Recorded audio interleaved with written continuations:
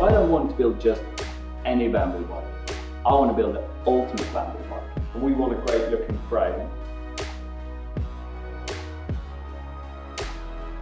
I'm Patrick and I'm a cycling photographer. One of the best perks about my job is that I get to see some of the latest and greatest bikes as they come onto market. I get to shoot them and sometimes ride them, which is brilliant. One of the latest trends that I really like is gravel biking. I love the idea that you can get away from the traffic, get out riding single track, gravel roads, but that they're also useful on the road. So I thought I want to get one. But I didn't want to buy a gravel bike, I want to build a gravel bike. I love the idea of doing something locally and building it with sustainable materials, which is why we're here at the Bamboo Bicycle Club. So we're all about people coming in, building a bike for themselves, being creative and taking ownership of the process. So what we really need to think about is what components we're going to use and how we're going to make the frame work really, really well for them. How we're going to have a stiff frame, a comfortable frame, really good compatibility, and then we're going to start building. So first thing, you're going to pick your bamboo tubing for your frame. We're going to try and create an engineered bamboo. So we're going to split it all down and rejoin it and therefore we can create unique aero shapes and we can also improve the performance. That's going to give us something completely different that's never been done before.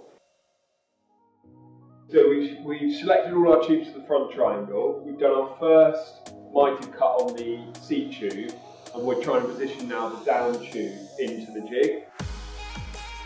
We've mitered all our, our tubes so we've got a really, really good fit between them. We've also run our internal cables.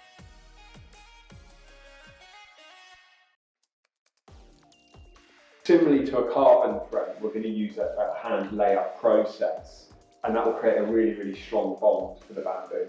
I'm going to glue everything up and centralise everything on the jig. So we've left our frame to dry. The lugs that we did the other day have now set. Uh, and obviously when you hand wrap the lugs, there, there are imperfections. So what we've been doing is sanding that down before we paint. Looking exactly how I wanted it. And today we're going to fit all the components onto the frame get it ready to ride.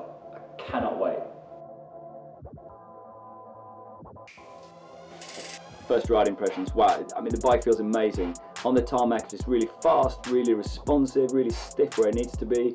And then when I've come down on this canal path, those wide 47mm tyres, the rims, all the components working together to make it a really smooth, supple, fast, responsive ride.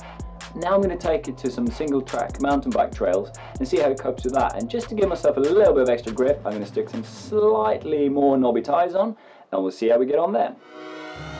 So I set out to build the ultimate gravel bike. To be honest, I think I've succeeded. It's not just this bike, it's brilliant. It's my favourite bikes I've ever ridden. It's also that pride of ownership that comes from building something yourself. It's hard to believe that just a couple of months ago, this was just a few pieces of bamboo. Now it's been shaped into this brilliant gravel bike. So if you've ever thought of working a similar project yourself, maybe building a custom bike, I highly recommend it. It's one of the best things I've ever done.